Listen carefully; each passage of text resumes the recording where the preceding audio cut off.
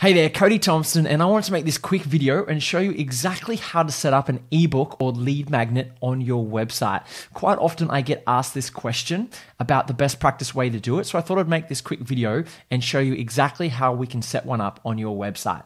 So this is a website here for one of our clients. Uh, they're a building client, and uh, you can see that there's a section like this uh, on the home page of their website. So to put uh, a section like this together, um, you really need to have a, a designed ebook cover. Um, so you could get one of those done on Fiverr or Upwork or something of that nature um, for quite cheaply. Otherwise, you could check out a website uh, such as like Envato Elements or something like that, uh, where they have templates um, which you could kind of take, download, and then edit to um, create your ebook cover. So once you've got the ebook cover, obviously you need to have the ebook written.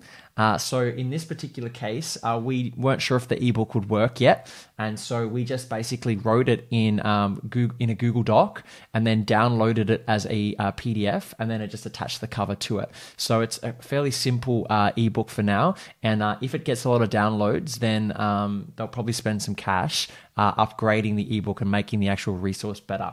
So the first step is creating the resource. Once the resource is created, uh, we can add a section like this uh, on the website. So you can see we've got the, the book here on the left hand side, and then we've got the headline, and we've got some text here, and then uh, the form uh, that needs to be filled out to get access to the ebook. So this is one way uh, that we can do it, but there's lots of other ways um, that you can lay it out on the page. But here's an example of how it can be done. The next thing we need is a specific thank you page, which we uh, want to make available when someone fills out this form. Um, so here's a, just a quick example, very basic page. Um, but basically, thank you for downloading and let them know um, you know that it will be hitting their inbox within the next five minutes, just in case uh, the CRM system takes a little bit of time to actually um, get the email into their email inbox. And then if they don't receive it, we want to encourage them to um, to reach out to us. So they're the two pages, the only two pages that we need uh, on the website to get this uh, system working.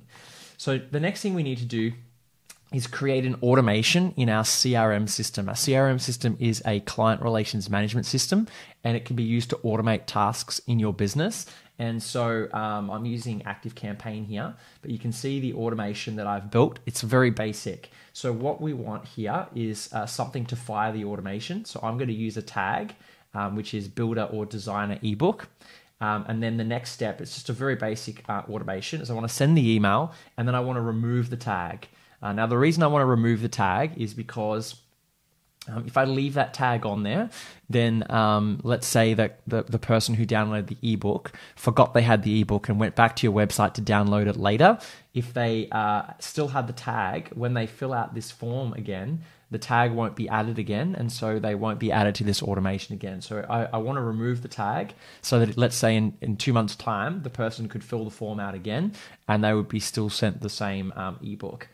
Uh, then what I want to do is uh, send them to an ebook lead nurture email sequence. So this is an optional step, but really the goal of uh, the ebook is simply to get them in your database, and then you want to nurture them towards a sale. So we don't want to just send them the resource and then uh, hope that the resource is enough to convert them to a sale. We want to have a separate uh, we want to have a separate email sequence. So this is a, a simple email sequence that um, just goes through, and you'll see uh, it, what it does is it sends them um, some information about one of the projects this builder has done. Then it sends them a testimonial video. Um, and then it finally asks them, hey, uh, you know, why don't you book a call with us to discuss your project? Um, and so every single email um, would have a call to action in it, leading back to the next step, which is to book a call with them. And uh, even the ebook resource itself has a call to action in the resource telling them to take the next step and book in um, a call with them. So here's an example uh, quickly of the ebook uh, email that is being sent. So it's all branded.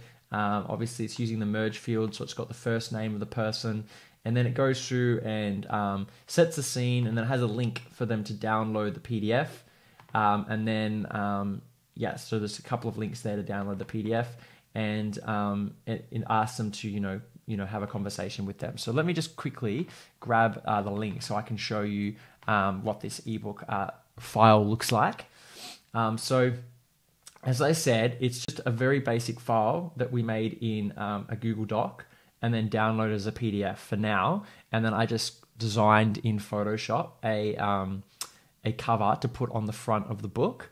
Um, so it doesn't doesn't look that sexy right now um, because we want to make sure that people are going to download it before we spend, um, you know, before I quote the client and um, you know spend some of their budget designing the ebook out nicely. Like you could add photos of some of their projects and make the the you know the inside of the uh, the document look much more attractive, but you don't want to waste budget on it until you know that people are actually going to download the resource. Like I've spent a lot of money and time before creating resources that people haven't used. So you want to make sure you test it first and see that people are going to actually use the resource. And then if they do, then you can spend money, um, you know, upgrading the resource and making it better. So I hope this video helps. If you have any questions at all about uh, adding a lead magnet on your website, then uh, please feel free to reach out to myself or my team. And uh, obviously, we're WordPress experts. We love working with clients. If you need any help with your website, please uh, reach out to us.